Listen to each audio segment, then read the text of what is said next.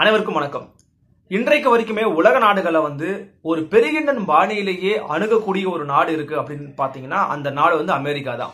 ஆனா அந்த அமெரிக்காவிற்கு அந்த பெரியனன் பாணியில் செயல்படக்கூடிய அந்த நாட்டிற்கே தண்ணி காட்டக்கூடிய ஒரு ஆளுன்னு சொல்லலாம். அதே போல அமெரிக்க அதிபராக இருக்கக்கூடிய டொனால்ட் ட்ரம்ப்புக்கு ஒரு தலைவலியை கொடுக்கக்கூடிய ஒரு ஆளாக கூட இவரை சொல்லலாம். வேற யாரும் இல்ல. வடகொரிய அதிபர் கிம் ஜோங் உன் தான். இன்றைக்கு வரைக்குமே மூன்றுல ஒரு பங்கு கடல் வர்த்தகத்தை தன்னகத்தை கொண்டிருக்கக்கூடிய ஒரு நாடா இருக்குது வடகொரியா. அமெரிக்கா ஒரு முதலாளித்துவ நாடு நம்ம எல்லாருக்குமே தெரியும். ஆனா வடகொரியா ஒரு கம்யூனிஸ்ட் சித்தாந்தத்தை தன்னகத்தை கொண்டு கட்டமைக்கப்பட்ட ஒரு நாடு தான் வடகொரியா.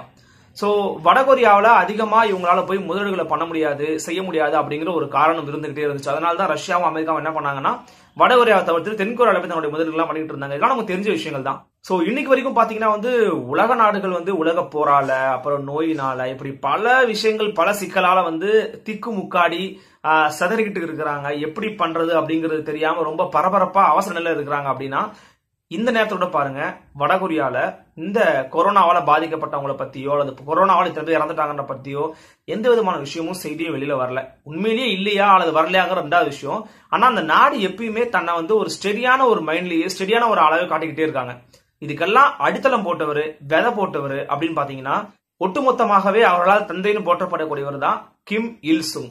இவருடைய மகன் தான் கிம் ஜாங் இல் இந்த கிம் ஜோங் இல் அவர்கள் தான் மிக முக்கியமான செயல்பாடுகளை அந்த நாட்டுல செய்யறாரு அதுல மிக முக்கியமான காரியம் என்னன்னு பாத்தீங்கன்னா இந்த மார்க்சியம் தேசியவாதம் அதன் பிறகு மனிதநேயம் இப்படி பலவிதமான கருத்தாக்கங்கள் அந்த நாட்டில் நிலவிக்கிட்டு இருந்துச்சு. அப்ப எல்லாவற்றையுமே சேர்த்து ஒரு கொள்கையா ஒரு தத்துவமா ஆஹ், அப்படிங்கிற அடிப்படையில் தான் அவர் உருவாக்குனாரு சூஜி அப்படிங்கிற தத்துவம்.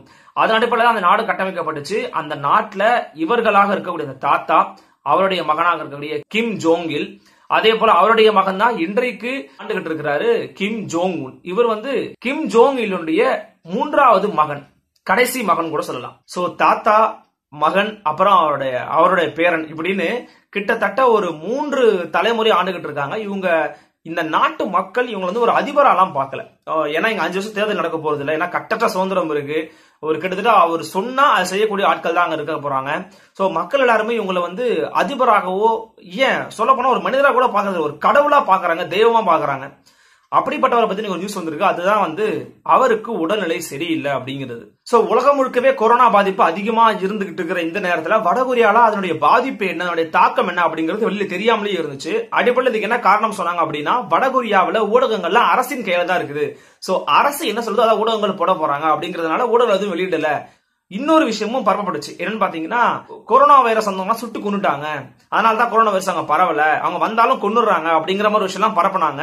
அதெல்லாம் இப்ப வரைக்கும் உண்மையா பொய்யாங்கிறது யாருக்குமே தெரியாது. ஆனா இதை குறிச்சு வந்து வடகொரியால இருக்கக்கூடிய உள்ளூர் அதிகாரிகள் உளவுத்துறை அதிகாரிகள் என்ன சொல்லியிருந்தாங்க அப்படின்னா இல்ல அப்படிலாம் ஒண்ணுமே கிடையாது. ஏன்னா சீனாவுக்கு எப்போது கொரோனா தொற்று பாதிப்படைவது அதிகமாச்சோ அப்பயே நாங்க அவங்க கூட இந்த வணிக தொடர்பு நிறுத்திட்டோம். அவங்க கூட வணிக போக்குவரத்தும் பண்றது கிடையாது. உடனடியாக அவங்களோட எல்லைகளை அடைச்சிட்டோம். எல்லா விதமான செயல்களையும் துரிதமா செஞ்சோம். மருத்துவத்தை அதிகமா வந்து மக்களுக்கு கொடுத்தோம். அதனால நாங்க கட்டுப்படுத்திட்டோம். எங்களுக்கு எதுவுமே கிடையாது அப்படிங்கறத பதிவு பண்ணியிருந்தார் அவனுடைய ஊடகத்துல. குறிப்பா அந்த பத்திரிகையில அவர் என்ன சொல்லியிருந்தார் அப்படின்னா வெளிநாட்டு தூதர்கள் அதன் பிறகு வெளிநாட்டுக்கு போயிட்டு வரக்கூடிய முக்கியமான அதிகாரிகள் என்ன பண்ணணும் தனிமைப்படுத்திட்டோம்.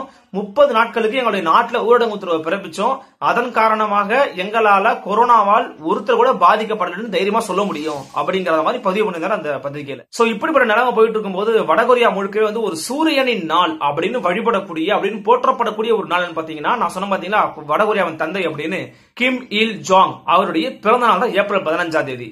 எப்போதுமே எந்த நாளுமே வெளில வரலனா கூட இவருடைய பிறந்த நாள் அன்னைக்கு நிச்சயமா வெளியில வந்துருவாரு கிம் ஜோங் உன் ஆனா இந்த முறை ஏப்ரல் பதினஞ்சாம் தேதி கிம் ஜோங் உன் இந்த நிகழ்ச்சியில கலந்துக்கல அப்படிங்கிறது தான் இந்த பரபரப்புக்கு மிக முக்கியமான காரணமா அமைஞ்சிருக்கு.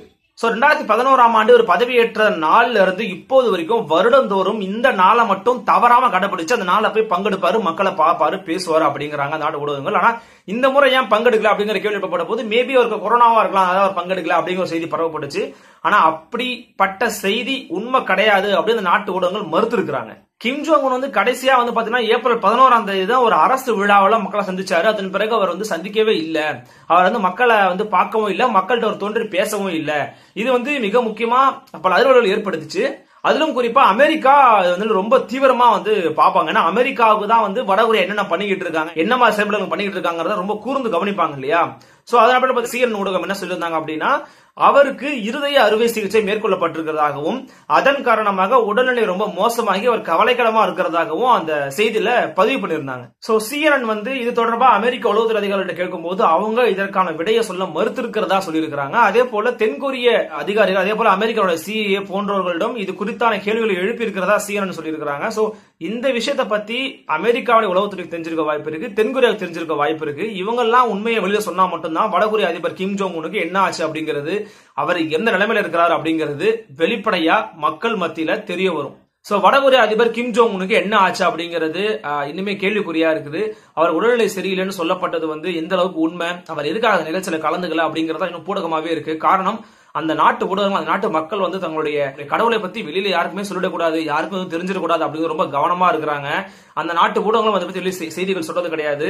சோ அமெரிக்க உளவுத்துறை அல்லது தென்கொரியாவினுடைய ஊடகங்கள் போன்றவர்களால் முயற்சி செய்யப்பட்டு வெளியே தெரிஞ்சா மட்டும்தான் உண்டு. கிம் ஜோங் உனுக்கு என்ன ஆச்சு அப்படிங்கிறது. ஸோ பொறுத்திருந்து பார்க்கலாம் கிம் ஜோங் உன் நிலைமை என்ன என்று. அதே போல அவருடைய செயல்பாடுகள் எப்படி இருக்குது? வடகொரியாவில் கொரோனாவின் நிலை எப்படி இருக்கு அப்படிங்கிறதுலாம் இன்னும் வெளிப்படையா வெட்ட வெளிச்சத்துக்கு வரல. பொறுத்திருந்து பார்க்கலாம் மற்றொரு நிகழ்ச்சியில் மற்றொரு தலைப்பில் உங்களை சந்திக்கிறேன். அதுவரை உங்களிடமிருந்து விடைபெறுவது உங்கள் அருள்மொழிவர்மன். இணைந்திருங்கள். இது உங்கள் ஆதன் தமிழ்.